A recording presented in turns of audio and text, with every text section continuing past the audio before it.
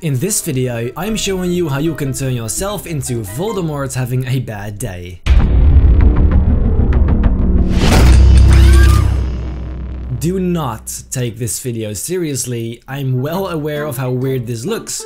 As I was making this it started looking weirder and sadder and it's probably just because of the picture, at least I hope so, because if not, this video will be bloody useless. Anyway, in this video I'm showing you exactly how you can turn yourself into sad Voldemort, so without any further ado let's get started. First take a beautiful picture of yourself holding something thin and long. That sounded incredibly weird. Hold something like a pen or a paintbrush like I'm doing here. And make sure not to look sad because, well, because of this. As usual, mask yourself out with the pen tool. This time, however, you don't need to pay any attention to the hair, instead try to determine where the shape of your head goes. Because as you can see, Voldemort doesn't have quite a lot of hair, so, well. When you did that, we can start making you bald. Use the lasso tool to create a selection. You want to make sure to select the hair and areas around it like this. Then create a new solid color and use the eyedropper to select the color that's close to your skin color. After this, you can clip it with yourself and call it head. Perfect! Now it should pretty much look like you're wearing one of these cheap latex bald hat caps. now use a brush to subtract your ear from the shape. You can decrease the opacity to see what you're doing, and when you're done you can bring the opacity back up to 100%. Now you can use a very soft big brush to soften the edges of the head layer. This way it's starting to look more like it's attached to the head. Oh boy. It's starting to look better, but it's still very flat. So to fix that, we're gonna select parts from the face and add them to the head. Use the lasso or whatever tool you want to select a part from your face. It depends on the angle of your photo which part is best. For me it's obviously the cheek. When you have a selection, click on the subject and simply hit Ctrl C, Ctrl V. Move that layer up, clip it with the head and call it skin. Now you can move it around and use a layer mask to soften the edges. Simply do this over and over again to fill your entire head, so for this you kinda need to find the best way for you. It can be different for every image. Now it is still looking like shit. My image is very grainy, so I'm adding some noise to the head manually. Now let's fix the overall lighting. Add a new exposure adjustment layer and slightly bring up exposure. Clip it with everything, invert the mask and start painting on the areas that need to be brighter. You can do the same thing for darkening some areas. The only difference is bringing down the exposure value this time. You can do this with as many exposure adjustment layers as you want. And remember, you can play with opacity, setting blend modes to luminosity to make sure it doesn't affect the colors, all those kind of things. And by the way, it doesn't have to be perfect at all. I mean, Voldemort doesn't really have like a clean face either, so well. Voldemort does not have eyebrows. Select your eyebrows and hit shift backspace. Make sure content aware is selected and hit OK. If this doesn't work properly, you can fix it manually with the clone stamp tool or the spot healing brush tool. Also, if you included the eyebrow in your main mask, make sure to remove that. Now let's change the skin color. Voldemort honestly looks like he just died, so let's try to recreate that. First, select everything except for the background and convert it into a smart object. You can call this subject. Create a new vibrance adjustment layer and clip it with the subject. Decrease the saturation a bit and use a brush to remove it from the clothes, paintbrush and lips and eyes. I don't have to be too precise since my hoodie is black and my wand is brown, so desaturation wouldn't be at all noticeable. However, if you're wearing something red or yellow, you might wanna be a little more precise here. Now add a new hue and saturation adjustment layer and clip it too. Hold Alt and drag and drop the layer from the previous layer on this one. Now slightly move the upper slider to the right, this gives a slight greenish tone. Voldemort also has this weird, well, stuff around his eyes, which makes him look like he's been drugged, so let's do that too. Add a new hue and saturation adjustment layer and make it a bit reddish. Start painting around the eyes. You can also add an exposure adjustment layer, put it beneath the color layer, copy the mask of the previous layer and bring down exposure. This way it gets darker and more intense. Now you should add another exposure adjustment layer which you can use as a general darken layer. So before we are finally gonna do the thing you've all been waiting for, let's explore some fun facts about Voldemort.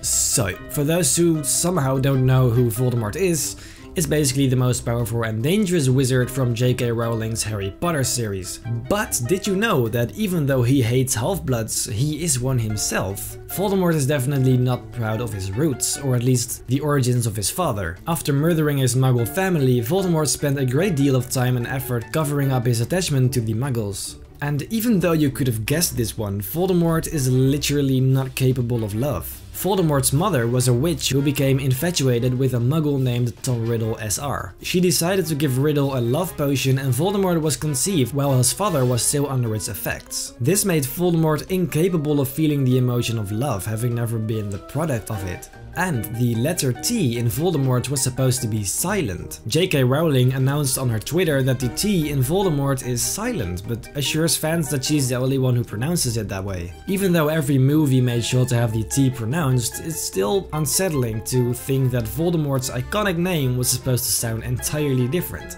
Wow, who would have thought you learned something new today? Let's get back to the video. So now, the nose, the most iconic part of Voldemort. Double click on the smart object to access it. First add a new exposure adjustment layer, bring up exposure and paint a bit on the eyes to make them slightly brighter. Now the nose. Select the nose and copy and paste it. Call it nose and convert it into a smart object. Now select an area from the cheek big enough for it to cover this area and copy and paste it too. Hide the nose and move the skin part to the left to kinda hide the nose. Make it a bit brighter with exposure and add a negative mask by holding Alt while clicking on the mask button. Now start painting back some areas. I also used Vibrance to desaturate it slightly. Now go to the mask of the subject and erase the nose. Unhide the nose, hit Ctrl T and select Warp. Warp it into a shape like this and hit enter. Add a layer mask to it to erase some parts. You now want to find the balance between the shape of the nose and the mask of the subject. Now add a new black solid color and use the mask to paint the holes in the nose. You can set its blend mode to luminosity.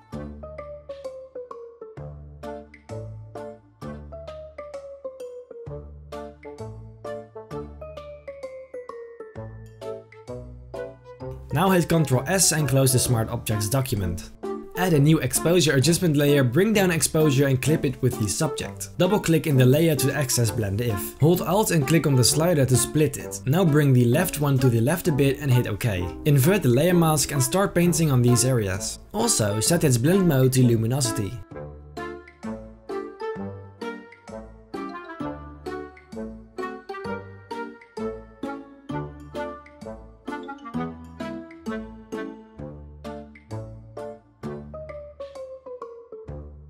Now we're gonna add a texture to the skin. Add this image and hit Ctrl Shift U, which desaturates it. If it's a smart object this doesn't work by the way. Set its blend mode to multiply and convert it into a smart object. Use transform and warp to put it in the right position. Add a negative mask and start painting back the areas you wanted to show. Make sure the flow value of your brush is low so you can paint softer. Also clip this with the subject. Duplicate this layer and use Gaussian blur to blur this one.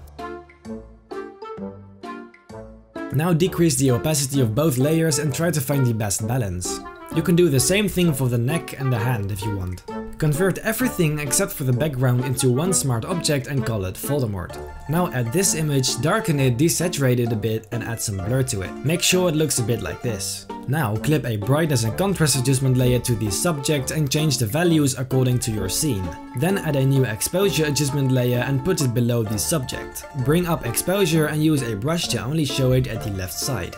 You can clip a new exposure adjustment layer to the subject, bring up exposure, hide the mask and start painting some highlights on the left side of Voldemort. In my image I decided the light comes from the two sides, so I added some light on the right too. Add a white solid color below the subject and invert its mask. You can use this for a soft glow behind Voldemort. Make sure to only have this glow at the side where there's bright highlights. You can do the same thing again, but now with smoke brushes. To create some depth, you could do this smoke thing again, but this time in front of the subject.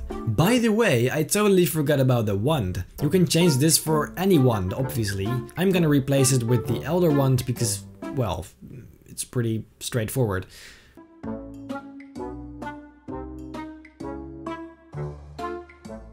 You can now perfectionize everything. The masks, the values, blend modes, colors, whatever you feel like you need to do. Now it's time to hit Ctrl Alt Shift E. Convert your new layer into a smart object and go to Filter, Blur Gallery and choose Field Blur. Here you can set points to which you can attach a blur value. I personally want my face to be in focus and my hand to be out of focus because it's closer to the camera. When you have everything set, you can go to the noise tab and increase noise. As I said earlier, I have quite a lot of noise, so I definitely need to do this. When you're done, you can hit OK and finally add a camera raw filter. As usual, this part is completely up to you, however I strongly suggest you bring up clarity and texture quite a bit. This makes the image a whole lot sharper and more intense. So, there you go. Honestly, he just looks like a spoiled child whose mom didn't buy him an ice cream, like a teenager Voldemort with puberty issues. And what's also pretty funny is it took me this entire video to figure out the fact that my head is like way too big. So I fixed that real quick and it's better. I actually think it's still too big, but whatever. Also, it's super dumb how Voldemort is wearing a hoodie because Alright, you know what? I'm, I'm gonna stop looking at this before I'm gonna change my mind about uploading this. Now let's hear it for my favorite Reddit submission for this video, which is this adorable edit by VC Mustaches. I have no idea how to pronounce that actually, so well. This is just so cute. I love the composition and the lighting is pretty decent. Very well done. So there you have it. If you like this video, make sure to hit that like button and leave a comment. And if you enjoy my content, feel very very free to subscribe. It would mean the world to me. Then I hope I will see you in my next video.